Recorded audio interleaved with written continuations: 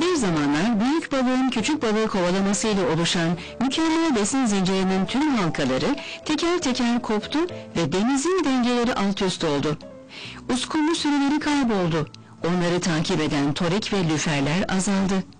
Adalar Müzesi, Marmara Denizi'nde hala farklı canlıların yaşamlarını sürdürdüğünü göstermek ve bu doğal hayatın özenle korunması gerektiği bilincini yaygınlaştırmak için açtığı sergiye herkesi davet ediyor.